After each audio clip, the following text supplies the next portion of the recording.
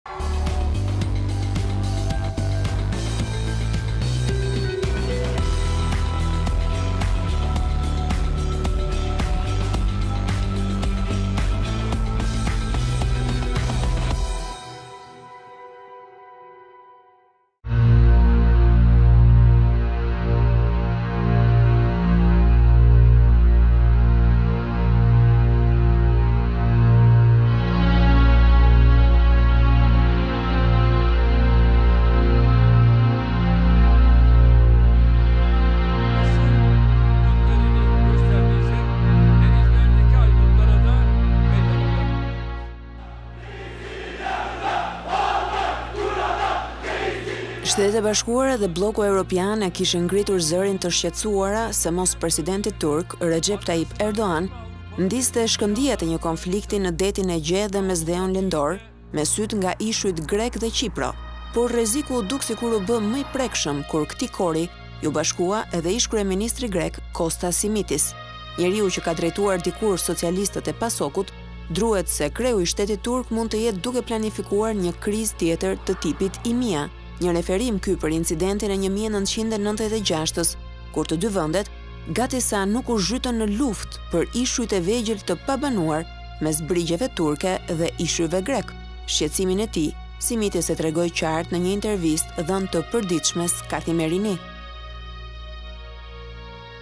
Këto janë probleme që dihen, por kushtet që po krijohen janë ndryshe nga ato që kanë mbizotëruar për dekada të tëra.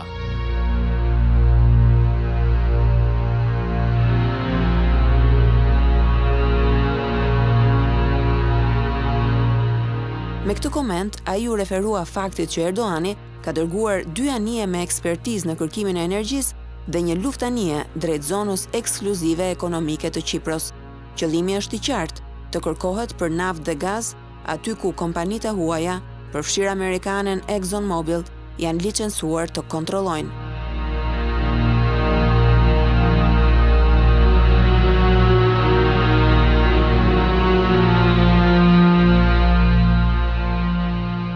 Simitis i kthehet sërish krizës së Imias, ku tre ushtarakë grekë vdiqën nga rrëzimi i helikopterit të tyre në këtë zonë të shndërruar në burim tensionesh. Aty, pak përpara incidentit, të dyja palët vendosnin dhe shkulnin flamurin e njëri-tjetrit.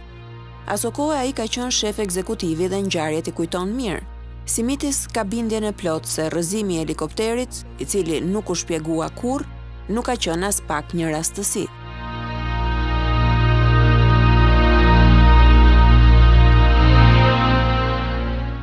Ajo që ndodhi ishte se lidershipi turk kërkoi të përfitonte nga kriza që shkaktoi sëmundja e Andreas Papandreut, dorëheqja e tij dhe caktimi i lidershipit të ri të cilin kishte bindjen se mund ta zinte në befasi.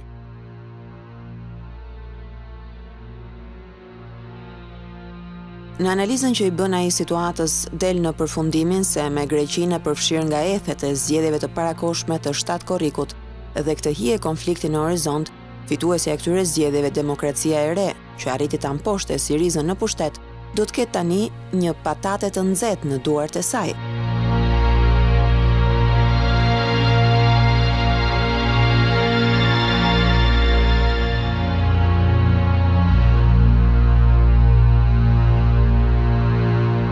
Nuk përjashtohet mundësia që lidershipi turk të ketë në mendje ndonjë skenar konflikti, konfrontimet intensive politike në Greqi, përpara zgjedhjeve, krijojnë kushte të favorshme për një veprim të tillë. Turqia, mbase del në përfundimin se kjo periudhë i siguron një dritare mundësish për të imponuar këndvështrimin e saj mbi përcaktimin e ujërave territoriale greke dhe kufijtë e shelfit kontinental. Ish-ministri i jashtëm grek Jorgos Katrugalos e minimizoi mundësinë e një konflikti të hapur. Në bindjen e tij, Ankaraja po kërkon të imponohet, por nuk synon më shumë. Turqia nuk po synon të provokojë një luftë, ajo do që ne të gjendemi përballë një fait accompli, një fakti të kryer.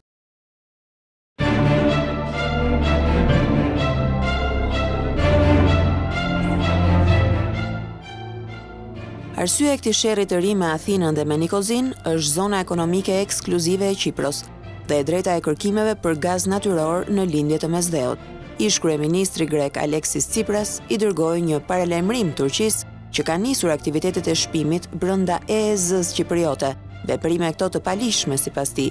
Tsipras foli për pasoja të rënda në marrëdhëniet e Turqisë me Bashkimin Europian dhe për mbarë stabilitetin rajonal Nëse qeveria turke këmbngul në këtë lëvizje ilegjitime të saj, si për t'i treguar kështu njëkohësisht se Greqia nuk është vetëm, sepse ka në krah edhe bllokun europian dhe aleatët e saj.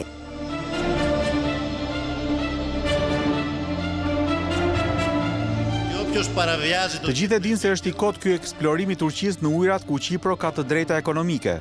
Edhe fakti që aty nuk ka përballë një barrierë detare tregon dobësinë e Ankarasë. Turqia pretendon se po mbron të drejtat e veta dhe ato të Qipros turke në zonën e rezervave të energjisë.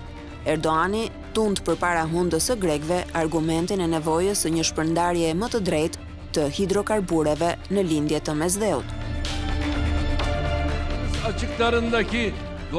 Kemi katër anije në zonë dhe i kemi marrë të gjitha masat. Kryeministri grek vazhdon flet me vete, por pavarësisht atyre që ai thotë ne i kemi ca të drejta këtu. Derisa të arrijmë një shpërndarje të drejtë të burimeve natyrore në Mesdheun Lindor, ne do të vazhdojmë të lëvizim me vendosmëri në atë zonë. E ndërsa Tsipras përmendte aleatët europianë dhe të tjerë, Erdoani preku si shkarazi çështjen e sistemit rus të mbrojtjes raketore, duke iu kundërvënë dhe njëherë kështu pretendimeve të Amerikës për blerjen e armatimeve të saj. Güney sınırlarımızda Shpresojmë që nga muaji tjetër të nisin të na vijnë sistemet e mbrojtjes ajrore S-400, të cilat i porositëm muajin e kaluar. Nuk do të bëjmë asnjë hap prapa lidhur me këtë çështje. Bölgelerde atacağım.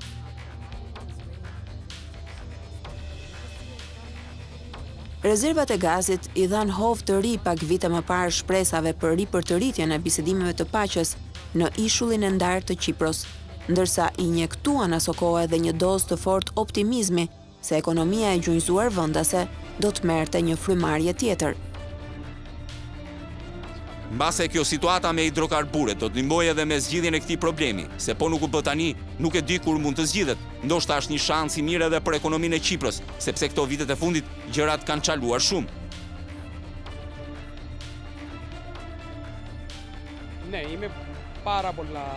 Kam shpresa të mëdha se këto rezerva të naftës dhe gazit do të ndihmojnë shumë Qipron, nëse të huajt do të na lejojnë t'i menaxhojmë vetë.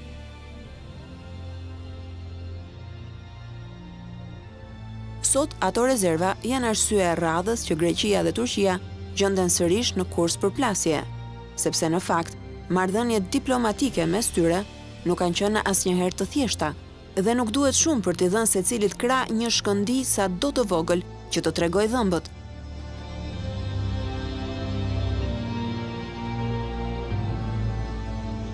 Gjatë shekullit të njëzet, të dy vendet janë afruar rrezikshëm shpërthimit të konfliktit në më shumë se një rast.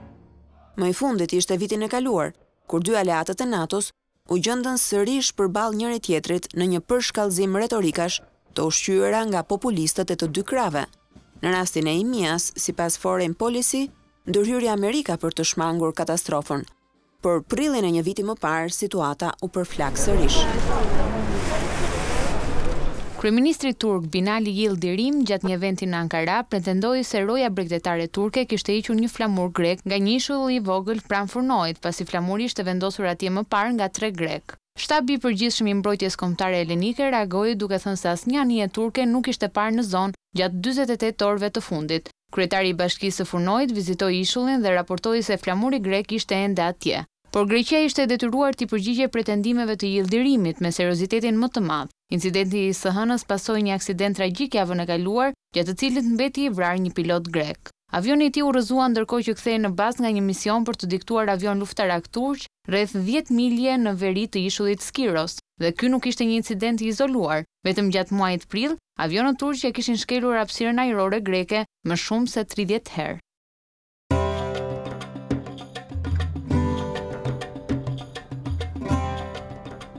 Ishulli i vogël që rrëmbeu vëmendje të madhe, ishte pjesë e atyre të cilat Turqia i cilëson si zona gri në Detin Egje. Juridiksioni i tyre, sipas saj, është i diskutueshëm. Greqia nuk i njeh zona të tilla, në përputhje me Traktatin e Lozanës dhe ligjin ndërkombëtar. Pozicionin e Ankarasë për këtë çështje, Erdogani e përforcoi edhe gjatë vizitës në Athinë në 2017-ën, të cilësuar si historike, kur doli me pretendimin se Traktati i Lozanës sipas tij duhej rishikuar Dhe si argument për këtë, përdori pakicën turqishtfolëse në Trakë, në veri të Greqisë.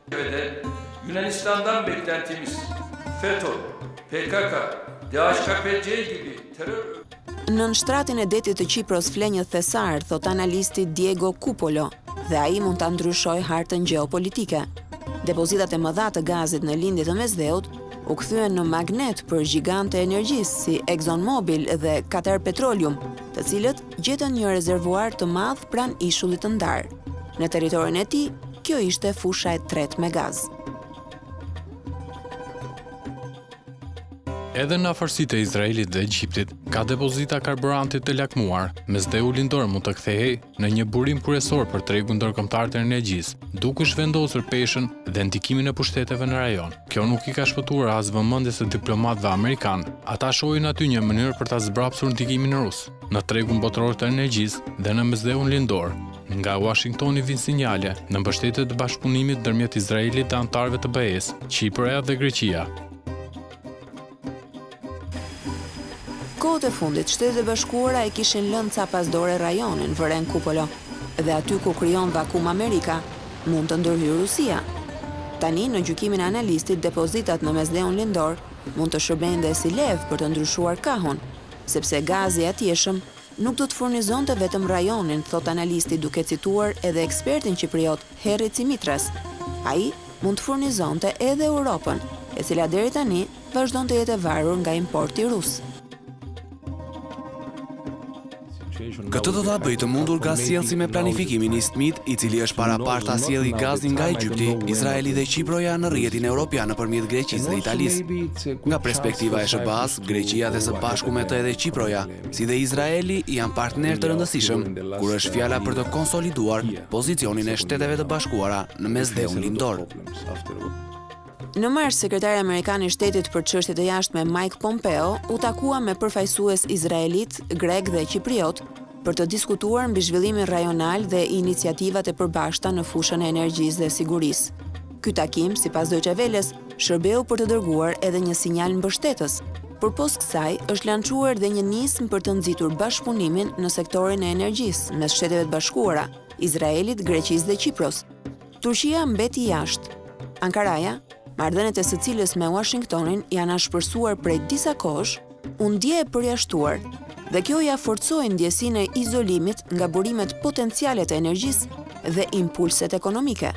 Zyrtarët në Qipron Veriore këmbgulin se të ardhurat nga gazi duhet të ndahen mes pjesës greke dhe turke, sepse të dyja pjesët e ishullit, siç thonë ata, janë trashëgimtare të pasurisë minerare të tij.